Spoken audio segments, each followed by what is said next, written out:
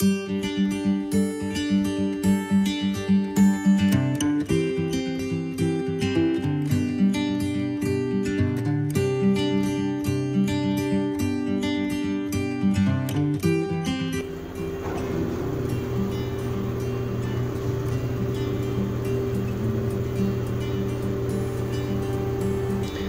is a service call that uh, dishwasher LG Tromm washer not dishwasher.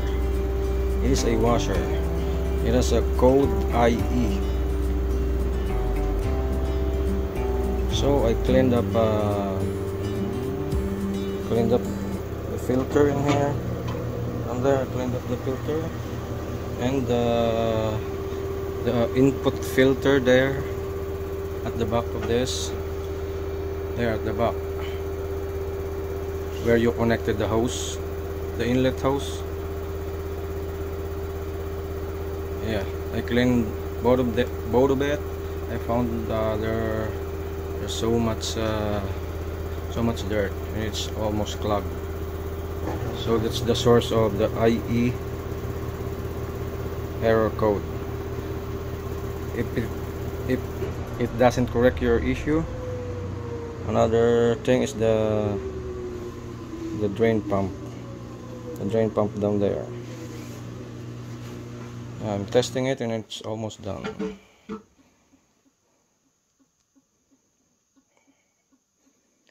IE should not uh, should not come out. It's almost done. It it spin well. The water goes out in this hose well.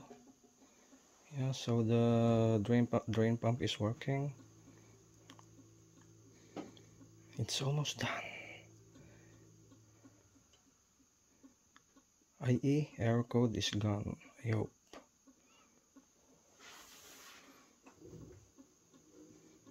Come on.